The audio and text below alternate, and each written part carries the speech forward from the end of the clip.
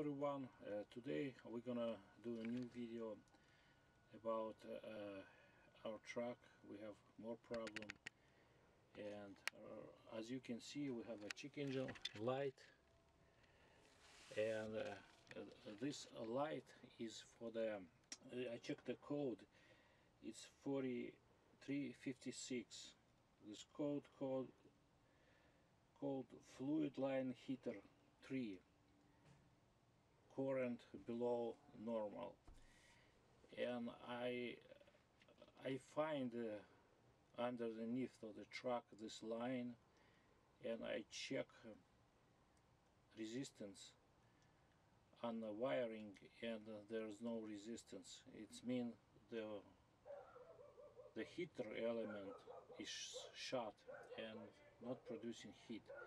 And agent checking this and uh, give me the code. And I try to buy a new heater uh, heated line. This line is number three for this code. It's mean this line goes direct to the injection. It's connected to the injection which goes to the uh, pipe.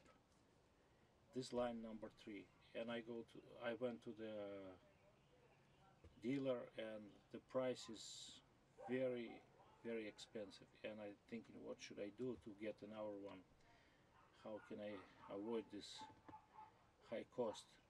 And this uh, line my original line it's maybe twice longer when I need it and goes around the frame and go around the Uh, bra brackets and so long.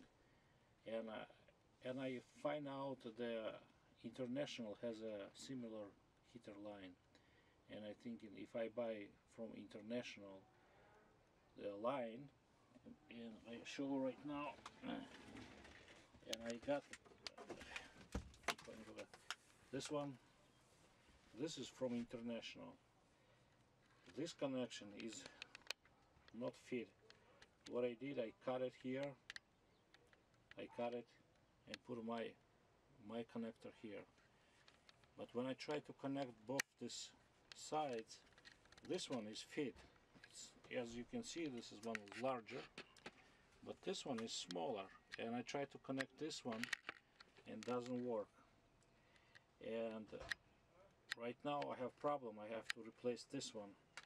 And what I did I bought one more I bought one more. And I remove this small fitting from the here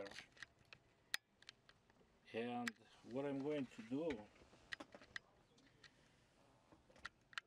as you can see I already put a plug from my Kenworth plug. And right now I'm going to take this one and put it here. And it's gonna be exactly what I need for my Kenworth. I will have same connector for both sides. And this one is uh, line number three which goes to injector. It goes to injector. And these heater lines usually have a problem because this wiring which goes here somewhere they're breaking off because there's some connection and co corrosion occurred inside and it's breaking off.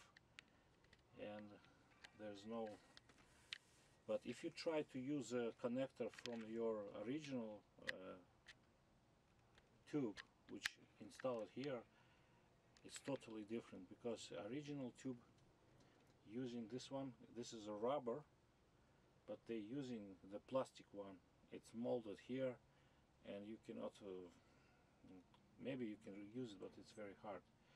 Right now what I'm going to do I'm going to install this connector here put this wire around and I have a new tubing. And I hope my check engine goes away. Okay guys as you can see this is line number three over here. I cut the plug this plug from the ECU this one for the heater. And when you check in this one you can use uh, just regular multimeter. And when you check it with your resistance you check this two wires here check like this.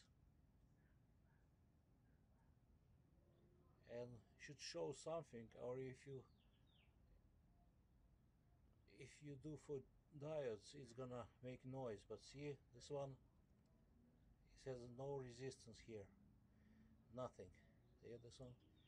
And this wires goes here and goes to the doser here. See this one inject urea here inside the filter. See this one? I open this one. This one is goes over here. And I'm going to replace this one the short one. If you see this one so long it's go here it go around like this one. Every and I'm gonna put a short one from here to here. And yeah you can drive it like this but uh, when uh, you're going below freezing point the fluid might frozen in the line and there will be no injection here. Okay. Okay right now we're going to disconnect the old you, you press it in like this and pull it out press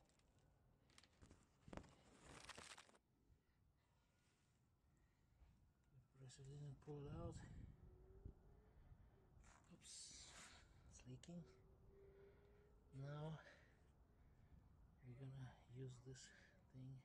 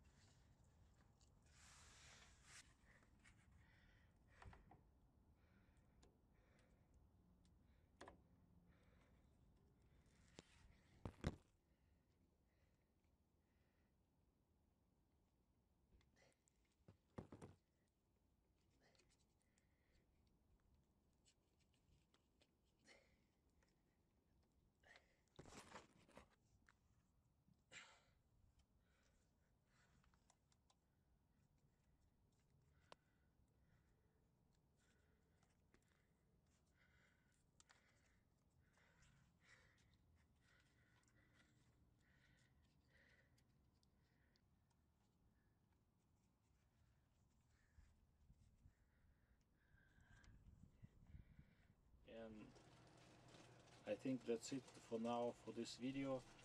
And if you have a problem with your uh, heater line for your DEF fluid and this is a solution for the for you. Okay that's it for now. See you next time. Bye